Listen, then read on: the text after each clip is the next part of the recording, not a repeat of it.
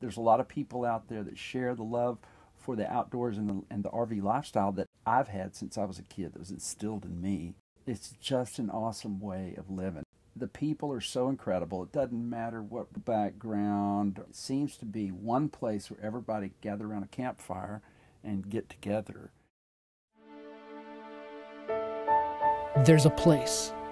It's no place in particular. Then again, it's everywhere. Where the people live free, free to explore, to be themselves, and to experience the camaraderie of their kindred spirit.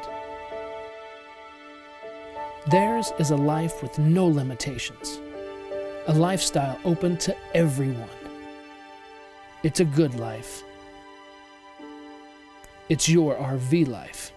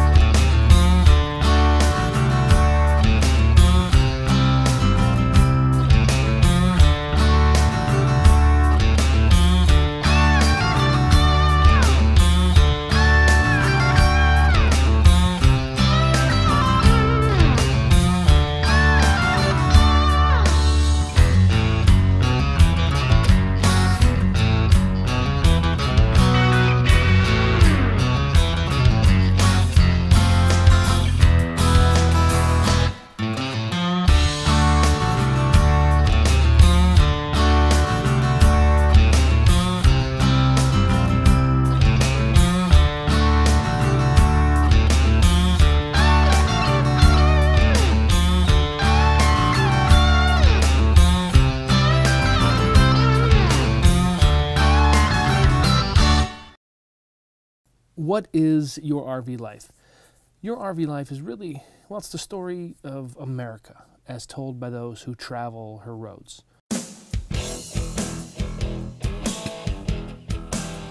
A wise man once said, Life is not about the destination, but the journey. To some, those are just words. To us, they're life's mantra, an invitation to celebrate the pioneer spirit when you get out and, and, get in this great country and you get out of the city, uh, you, you, it, it, instills something in you. It brings a spirit that's inside of you alive. Uh, I believe the same spirit that took people from the East Coast across unknown territory to make it to the West Coast, that's, that spirit is still alive. This story is told through the perspective of two separate lenses. One is the team at Blue Moon Mobile RV. The Blue Moon, uh, our company here in Carrollton, we're small, uh, but we carry a big stick. We carry a lot of wallop.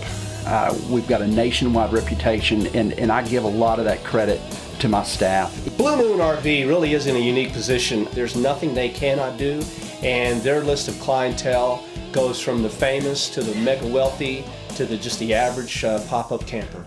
What do you think about the Blue Moon guys? I think they're excellent. I think they're outstanding. They know exactly what they're doing. They know exactly what we need. They're awesome. I, love, I love Blue Moon. Blue Moon is awesome.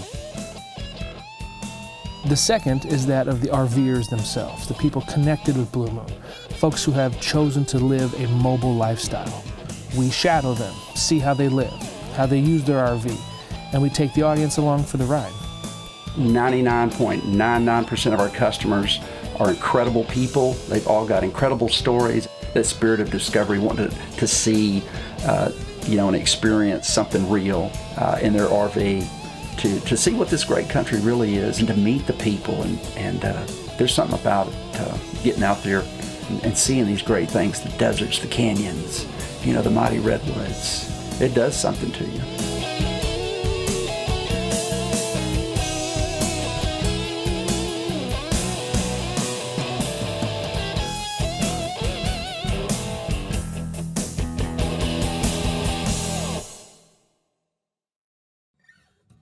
The essence of great storytelling it relies on the ability to create interesting characters. And the people who are at Blue Moon Mobile RV and their customers and the interesting people we've met on the road are beyond great characters. They are the fabric of America.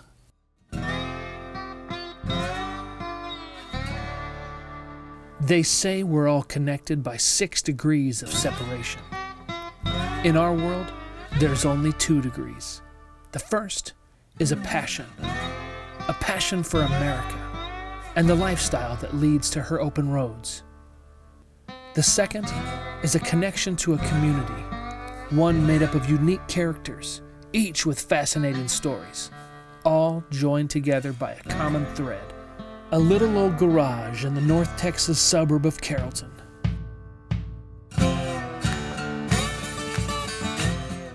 So many different people and so many different backgrounds that are that is one of the biggest things that keeps me in this business. I mean, we meet so many crazy people. Oh From a guy pushing submarines around the world wearing a kilt, you know, to a 22 year old kid racing trucks since he was five years old, and his dad before him.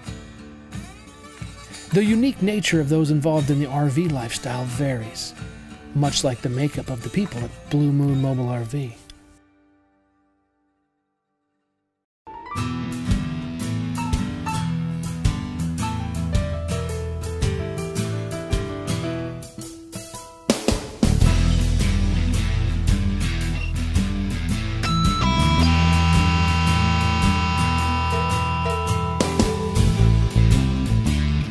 I knew Rodney before he started Blue Moon, and I've been working for him for almost 15 years now.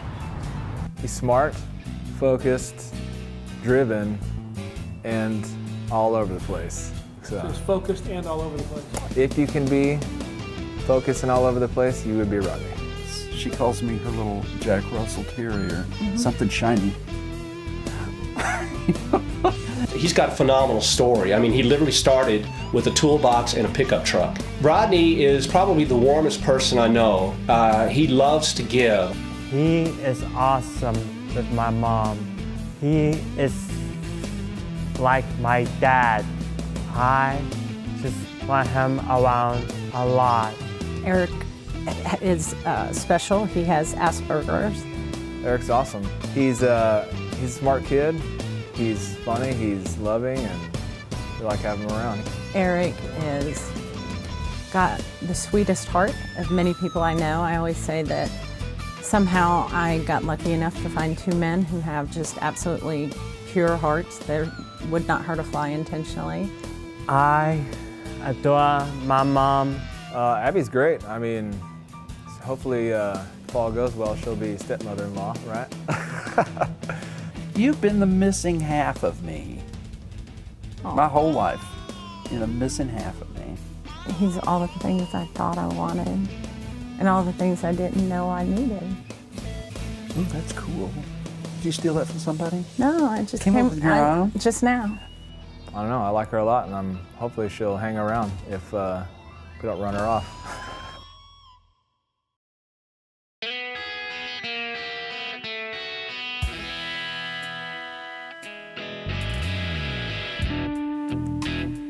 Jeff. Jeff scared the shit out of me when I first started. He, uh, Wait, uh, tell you about Jeff. I'd have to say I've probably tested Jeff's patience the most. You're kidding me, right? Jeff, being Rodney's brother, of course, those two get into it more often than anybody else. Sweet Mother Mary Jesus, you want me to go all the way back to Dallas? Sweet Mary Mother Jesus. Sweet Mother Mary Jesus. Sweet Mother Mary Jesus. If it ain't one damn thing, it's another around here. I like how he starts. It'll be like, what, what, what? You gotta be fertilizing me. You've got to be fertilizing me, right? Uh, some of the other ones I probably can't say on camera, but That would probably take the TV rating off the scale. It goes without saying. That can be a hoot. that really can be. All right, let's get this damn show on the road. Jeez, who knows? Oh, yeehaw. Funsy time. So much funsies. Yeehaw, let's go. Uh, that's just how he is, you know. He just speaks his mind and, you know, just tells you what he's thinking. And And it just cracks me up every time.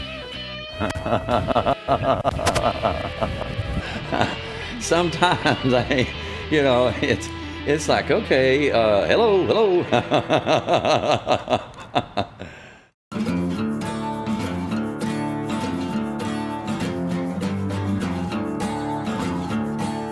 So the next time you're on one of America's highways and you spot a recreational vehicle, just know two things. One, they're probably headed to a better destination than you are. And second, they'd welcome you in a heartbeat to come along for the ride.